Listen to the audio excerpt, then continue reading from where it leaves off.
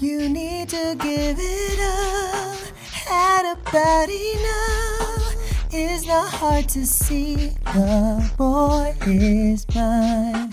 I'm sorry that you seem to be confused. He belongs to me. The boy is mine. Think it's time we got this straight. Sit and talk face to face. There is no way you could mistake him for your man. Are you insane?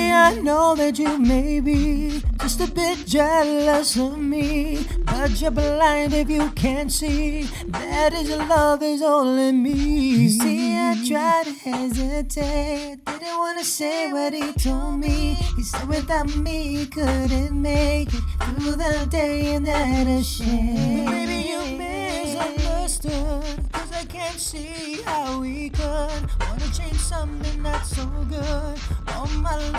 All it took.